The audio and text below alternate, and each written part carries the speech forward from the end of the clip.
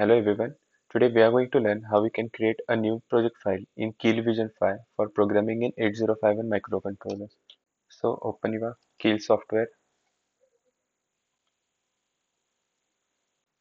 Then click on project tab here and then new vision project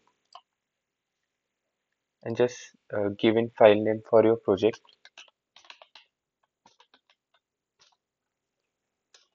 and then save. After that you will get this interface. Here just search for RD2 uh, scroll down. And in NXP you will get P98LV51RD2 just select this and click OK. And uh, you will get a copy startup.ai to project folder and add file. Just click on no. After that uh, you will get uh, the project window in left hand side. Here uh, you will get your project name. Then click on source group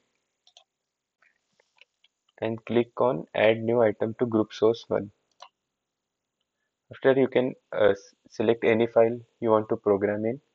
For example C, C file or assembly language file. I will click on assembly language file and just type in in him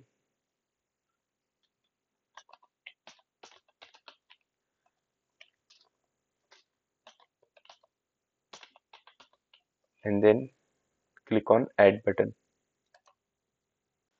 And then you can see your file has been created here.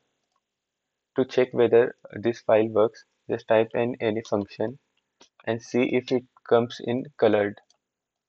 If it is colored then your file is properly created. So this is how you can create a new project file in Keil software. So if you find this video informative please share like and subscribe thanks for watching